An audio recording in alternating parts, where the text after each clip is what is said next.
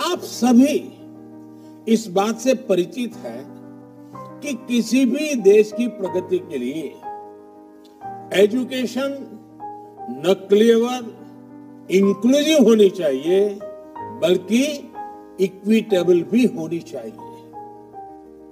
इसलिए आज देश टॉकिंग बुक्स और ऑडियो बुक्स जैसी तकनीक को शिक्षा का हिस्सा बना रहा है।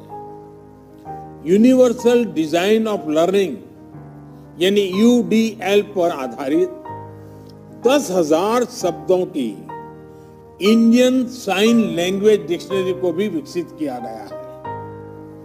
असम के बिहू से लेकर भारत नाट्यम तक